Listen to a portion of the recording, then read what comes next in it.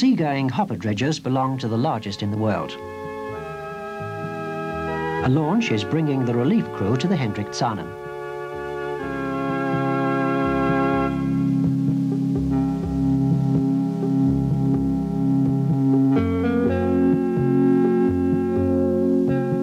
For the crews, work on Richards Bay Harbour is not easy. Work continues around the clock.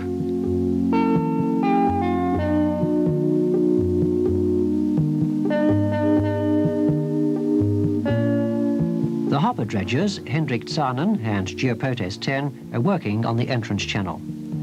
The soil is pumped into their own hoppers.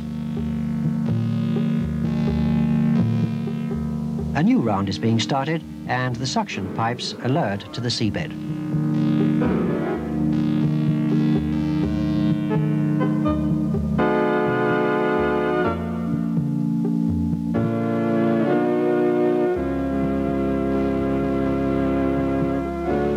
Operations are controlled from the bridge, the nerve centre of the dredger.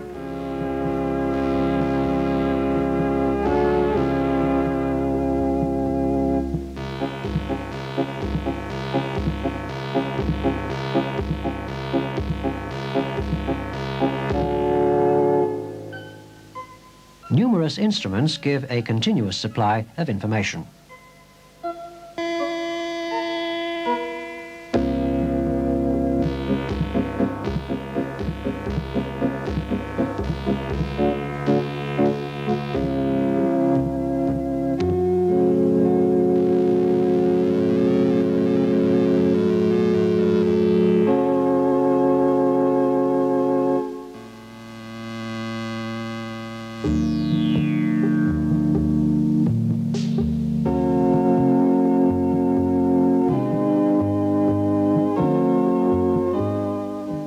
Has been filled with about 9,000 cubic meters of soil.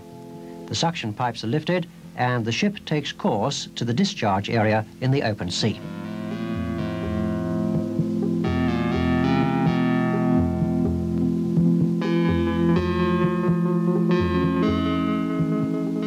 Soil which is not suitable for reuse is dumped far out at sea by the hopper dredgers.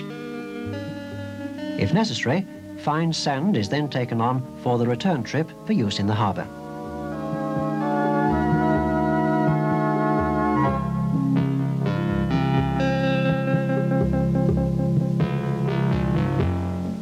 The dredgers and their supporting vessels use 350,000 litres of diesel fuel every 24 hours.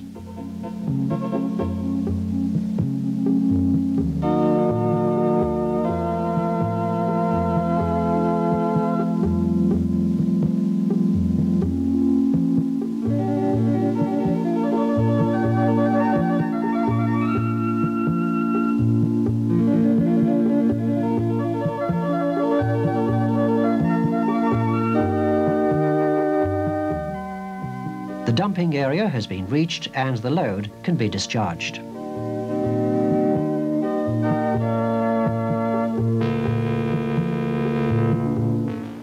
The bottom dump openings are such that unloading only takes a few minutes.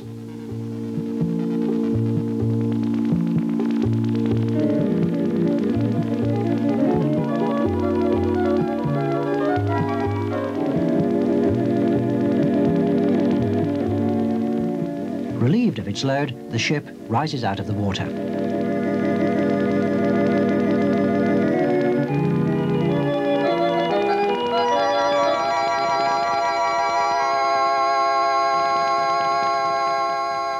Day and night, the dredging fleet works towards the completion of the harbour.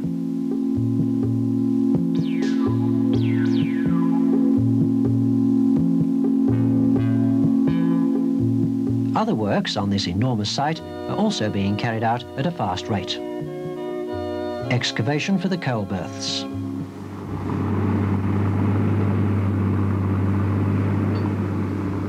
Soil conditions in the lagoon vary considerably over the site. The lagoon bed comprises sedimentary rock into which deeper valleys have been carved by former rivers. These valleys have been filled with relatively young sediments.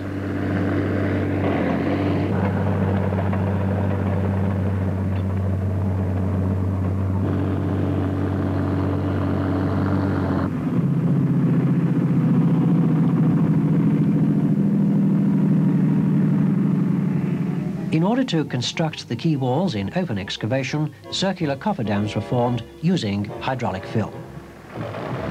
Within the cofferdams, excavations in the upper section are formed with side slopes.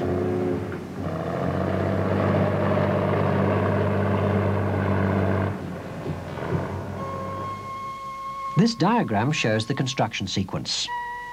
Excavation is taken down to minus 13 metres without supports. From here down to minus 25 metres, the sides are supported by braced steel sheet piling. In this way, the quay walls can be constructed in the dry. The groundwater within the cofferdam was lowered using the vacuum method.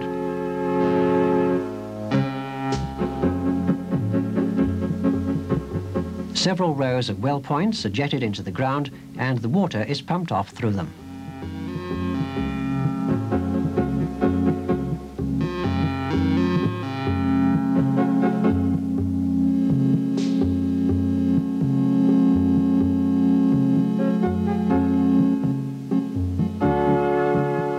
Excavation is finished and construction has just started. Several designs were investigated for the construction of the quay walls. The most economical solution was a reinforced concrete buttress wall.